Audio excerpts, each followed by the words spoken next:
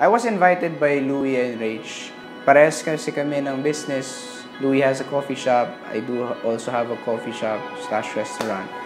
At tuwing closing, doon na po ako pumupunta at tumatambay lang.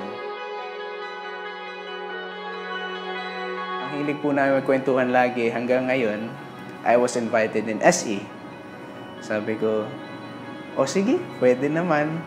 O wala ka ng oo. Sabi, parang hindi, parang skeptic pa nga ako noon until birthday ni Rach. Na-meet ko si Ate Kat tsaka si Kuya Bindoy. At inabot na lang po sa akin yung cellphone na registration. Sige, it was a good decision. When the business started, I was full of stress. And I was thinking that I was too young to do something this big. Balay Aurora, our cafe. Nag-aaway na kami ng family to the point na wala na akong pakialam sa relationship namin. I just wanted the business to be great. One night, while talking to Louie and Rich, I was asking them on how they handled the situation. How, how do they handle business with family? Tapos, sinabi na lang nila, may SE, punta ka. Tapos, ayun, nag-SE na po ako. My favorite part in SE is the time for myself.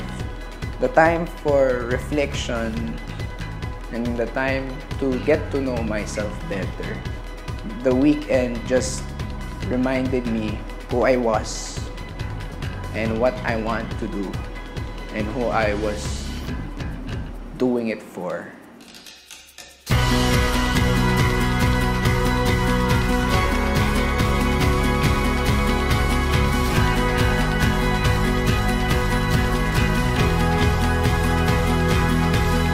After SE, madaming nagbago. And one thing I'm sure of, I became more calm. I learned how to pause. Nagkaroon ulit ng problems pero na-handle ko na maigi. Walang sigawan, walang murahan. Silence lang.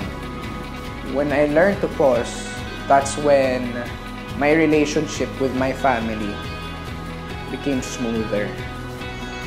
We became happier, um, we became more understanding, and we became more prayerful.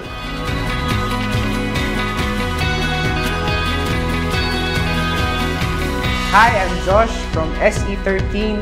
I'm inviting you to join the Singles Encounter Weekend. Para sa inyo to. Kaya, tara na.